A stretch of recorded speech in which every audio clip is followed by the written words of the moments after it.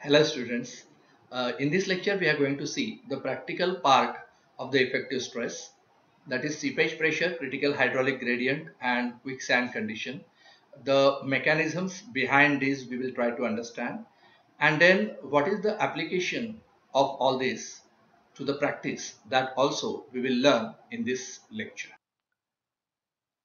Now friends, by this time you know that the total stress is effective stress plus neutral stress that is sigma dash plus UW which is pore water pressure.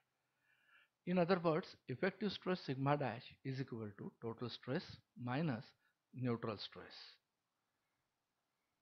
Therefore, uh, we can uh, write an expression that if we are considering a soil sample, sand sample, as shown in figure 1, uh, which is of height h, and there is a container which is connected to the cylindrical tank with the help of tube and level in the container. Level of water in the container is same as that of level of water in the cylindrical tank. Then we can write an expression for effective stress at the bottom of the soil sample that is at height h sigma dash h is equal to this soil being saturated. Unit weight of this soil is gamma sat. So gamma sat into h minus gamma w into h. In other words if we take h common then gamma sat minus gamma w which is nothing but submerged unit weight of water into height h. But this above equation 3 is valid when the water is in its static condition.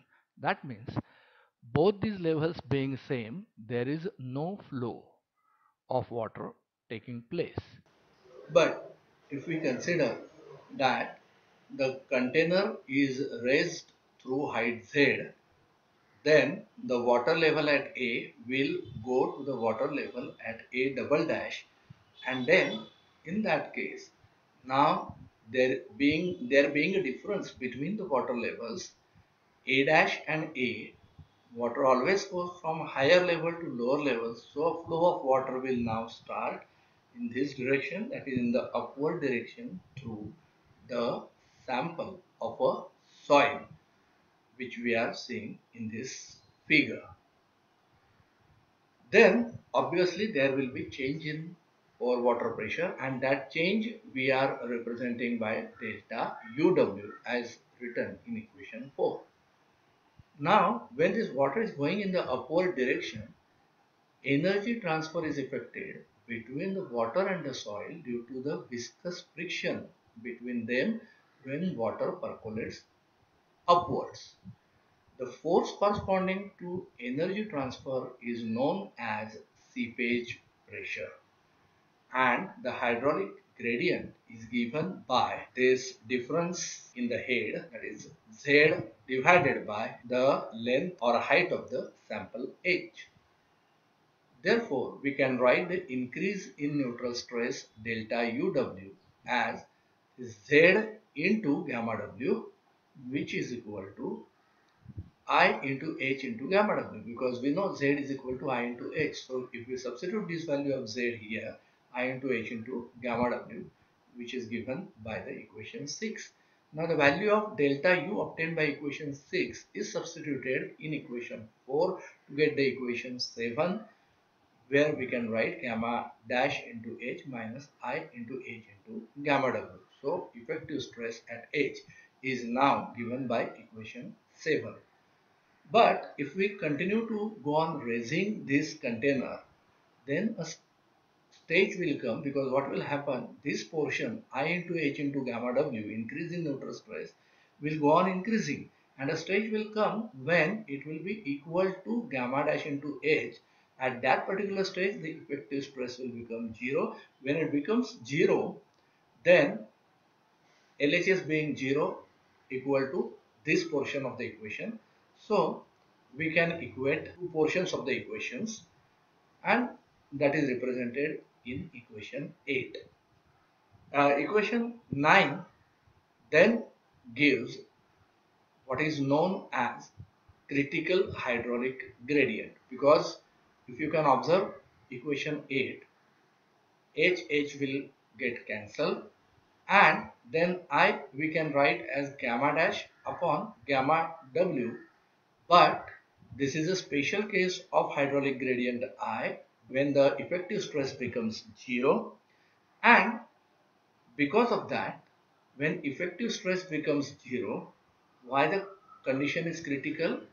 Because soil will not offer any resistance and soil will start behaving like a liquid. Therefore the hydraulic gradient corresponding to this condition is called as critical hydraulic gradient. Now the value of uh, submerged unit weight of the soil gamma dash uh, as we know which we are getting from basic relationships is given in the equation 10 that is gamma dash is equal to gamma w into gs minus 1 upon 1 plus e. Then if we substitute this value of gamma dash in earlier equation 9 that is IC is equal to gamma dash upon gamma w then the whole equation divided by gamma w so gamma w and gamma w will get cancelled and what we will get is gs minus 1 upon 1 plus e. Therefore, we can calculate or estimate the critical hydraulic gradient if we know the specific gravity of the soil solids gs and void ratio of the soil.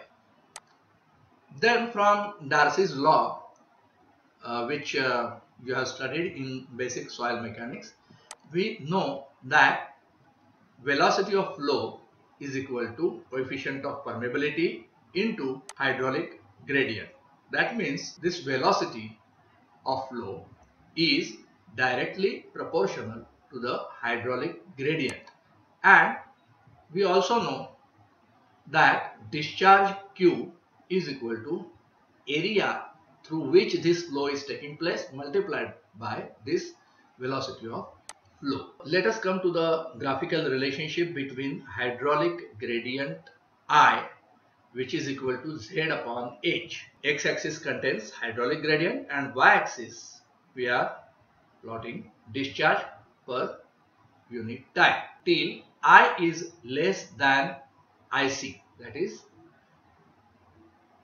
Q goes on increasing let us say Q goes on increasing but it has not reached critical hydraulic gradient when this will happen?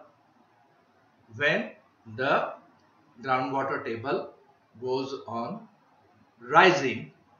Then in practical situation I'm talking about this straight line relationship you can see.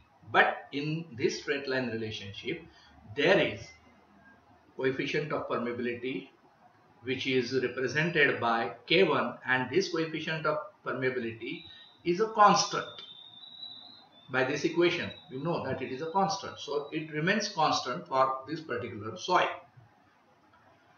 Once critical hydraulic gradient is reached then there is sudden rise in the discharge Q and due to this sudden rise in discharge Q the particles of the sand are dislodged apart and then the permeability of the sand further increases to value K2. But then again the relation between hydraulic gradient I and discharge is again a straight line relationship and that line continues further from B to C. Now if due to fall in hydraulic gradient if discharge is falling then the backward journey from C to B starts.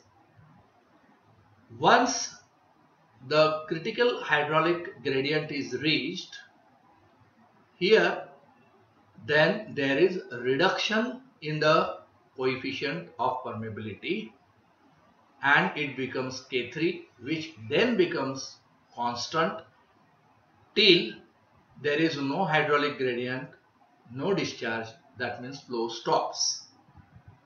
But we can observe that the portion DO is lying above OA.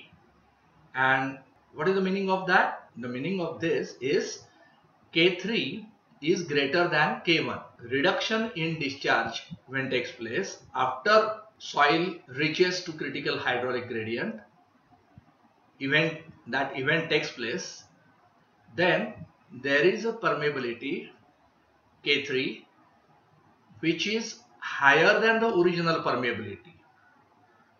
In other words, the soil is not following the same path you can observe here in the graph. What is the practical meaning of this?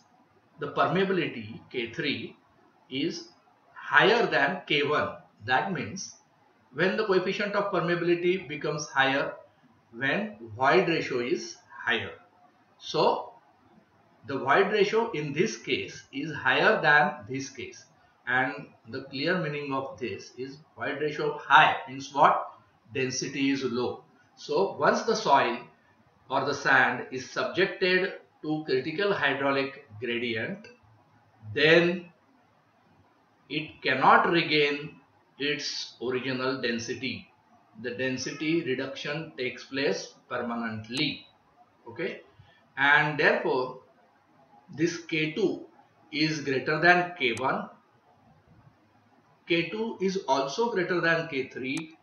However, K3 is greater than K1. That is, event of hydraulic gradient reaching to critical state causes permanent decrease in density of sand. Now for practical point of view while designing the foundations, what is the use or application of this phenomenon? What does it indicate?